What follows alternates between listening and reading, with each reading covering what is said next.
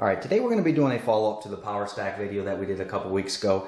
If you're interested in learning more about these power stacks, see the link above. We go into a lot more detail in that video in regard to these batteries and comparing them against some of DeWalt's other batteries. Today's focus is going to be solely using this DCF 887 hex impact driver, and we're going to be using the 5.0 power stack and the 1.7 power stack. We're going to see if we can see any difference uh, in power gains while using these two batteries fully charged and using this drill here.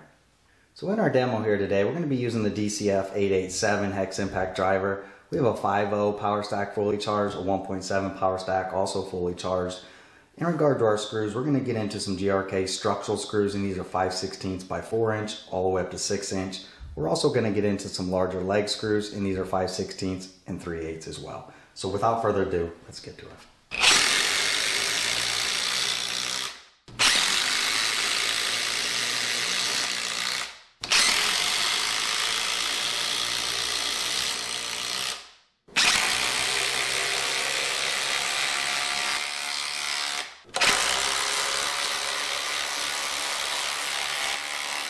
All right, so what are my final thoughts here? As you saw there in the demo, when we were using these GRK screws, each individual screw, the longer it got, we noticed that the 5.0 was drilling those a little bit quicker than what the 1.7 was. However, when we got into the smaller leg screws, and obviously these are a lot thicker, but they're a shorter length, there really wasn't any difference in between. I'm confident if you would have increased the size of these, you know, up to a six inch or so, you're going to start seeing the same trends that we saw in this group over here. The Power Stack 5.0 would have probably been able to do those a little bit quicker. Now, with that said, obviously, from a straight power standpoint, our goal here today was to try to figure out, you know, is there really that much difference between these two while using this 887? But if you start looking down into the cost of these, similar to some of the other reviews that I've done out there, I have really mixed feelings about this 5.0. Yes, is it more powerful? Yes, is it a 5.0? It's a little bit longer runtime than this 1.7.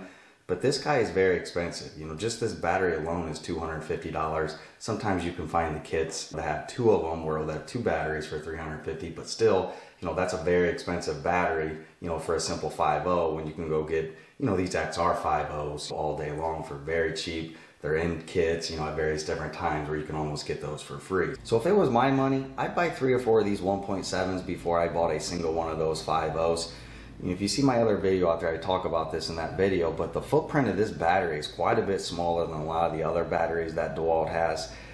This 5.0, yes, it's more powerful than these, but this one's probably 25% bigger than some of the batteries out there. So, you know, again, if I was looking at a power stack for the cost, I'd buy a couple of these if I needed a 5.0 runtime, I just go get the regular XR 5.0. You can find those all day long in different kits that are very cheap. You know, sometimes you're getting those batteries for hardly nothing in, in those kits with the tool. So, you know, again, if you need a longer runtime, I would just get the XR 5.0.